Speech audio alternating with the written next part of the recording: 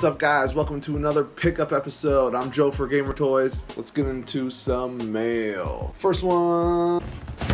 All right, we got some vintage Ninja Turtles, as usual. Variant turtles. This was like the first, the first variants that we kind of got in the vintage line. We have the Sewer Surfing Mikey.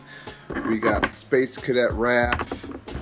Undercover Don, which is one of my favorites, one of the first figures that I got as a kid. And we have the Sewer Samurai Leonardo. Um, I picked these up off of Instagram. The name of the seller escapes me right now, but I will link them down below once I look it up. Shout out to you. Check them out. We have the case with the stickers for Undercover Don, uh, his mask, the gun with the bang flag, and the black piece of rotten pizza. Um, what I like about this is you can put the pizza in the case. He can go ahead and hold that. He can hold his gun. Turtles with guns, it's kind of weird.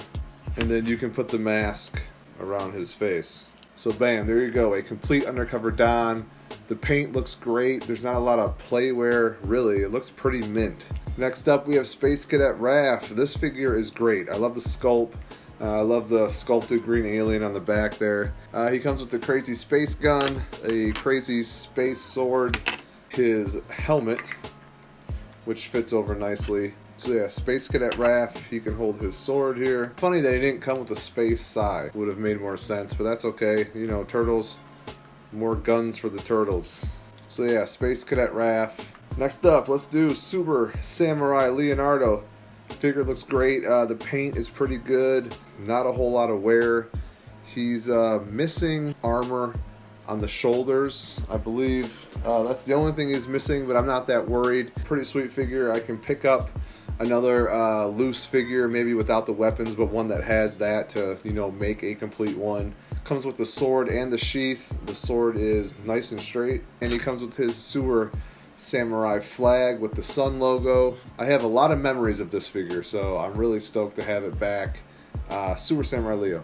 Last but not least, we have Mikey. He is missing a few things. Definitely remember having this guy. I got these four turtles with all the accessories that they came with for like 30 bucks. So I can't really complain there. It was an awesome deal. So I'm always happy to add more vintage TMNT to the collection. I have a couple shelves over here that they're getting a little full. You know, when you see a good deal, sometimes they're just too cheap to pass up. Moving right along. Next one. This figure right here. This comes from, uh, you know, everyone's favorite dungeon master, uh, Jabba's Toy Dungeon on Instagram. Brandon, awesome guy, awesome seller. One of these days we're gonna get together. And he posted this in one of his last sales, and I grabbed it because it was at a really good price. Uh, the card is definitely beat up, but honestly, that just adds character to the piece, uh, especially with this being a made in Mexico Lili Ledy Reese on the card. Hard to see, but right here above my finger it says made in Mexico. As Brandon stated, you can definitely see the marking on Ree's weapons, which also confirms it. I've just been on a big Lili Ledy kick over the last couple months, and I seem to just kind of have fallen into a Reese focus because I picked up a couple loose Letty Reese for really cheap, and I bought a uh, loose complete one from Brandon, you know, a couple months ago. Uh, I'm always happy to add another Ledy piece to the collection. So, Brandon, shout out to you. Thank you, my friend. And last but not least, the only modern piece this week. This was kind of a happy surprise because I stumbled across this at Meijer and I didn't even know that they were doing this line. And that is the Wanted Bebop and Rocksteady. This is the 80s Rocksteady. So he's done up in his classic style from the 80s cartoon, which is awesome because this Rocksteady figure has a great sculpt this one has a great paint. There's definitely a lot more paint apps on this figure than you normally get in this line.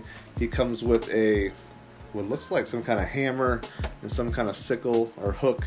It shows Rocksteady and it shows 80s style bebop and 80s Leonardo, which is I guess supposed to be like the undercover turtles line, the ones that had the soft good trench coat and stuff. I'm assuming that these three are the only three in the 80s like side wave. I don't even know what you want to call it. Stoked to find this.